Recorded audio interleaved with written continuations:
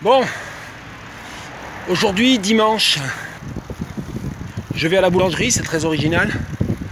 D'habitude j'y vais tôt le matin, là je vais y aller à 11h. Et donc il va y avoir une file d'attente pas permise. Ce matin j'ai regardé la vidéo du journal de Michel Brosseau du 7 au 15 novembre. Je vous invite à aller la voir. Le 11 novembre c'est très beau, il y a un lien entre une page de Kafka et, et une araignée. Et puis surtout ça se termine avec l'entrée du 15 novembre et cette réflexion qui me parle énormément sur le fait que bah, mes fils ont 19 et 13 ans et ils vivent euh, leur, euh, leur fin d'adolescence, début de vie d'adulte et adolescence respectivement, qu'on espère que, tout va pouvoir reprendre un cours un peu plus normal dans pas trop longtemps. Et donc, euh, c'est vrai que ça pose un certain nombre de questions. Et Michel Brosseau, il parle de ça. Je suis arrêté au feu rouge. Là. Je sais même pas comment je vais redémarrer en tenant le téléphone. Je suis tellement nul. J'ai dépassé la boulangerie en fait parce que ouais, je vais tout droit.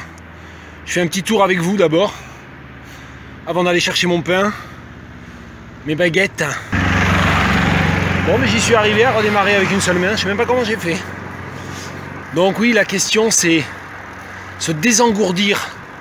Michel Brosseau, il parle de se désengourdir. Est-ce qu'on réussira à se désengourdir quand on aura à nouveau le droit de sortir, de, de visiter les expositions, d'aller à droite à gauche? Et moi, c'est mon sentiment, c'est qu'il va falloir se forcer en fait se forcer à, visiter, à aller dans des régions, à, refaire ce qu'on faisait, peut-être aller à l'étranger.